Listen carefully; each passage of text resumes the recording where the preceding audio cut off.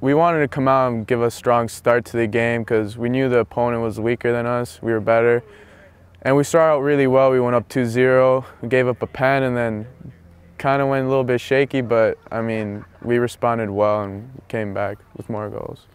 I just saw I saw the ball come out at the edge of the box and I love shooting shooting balls like that and you know, thankfully it went in, so it was a good goal.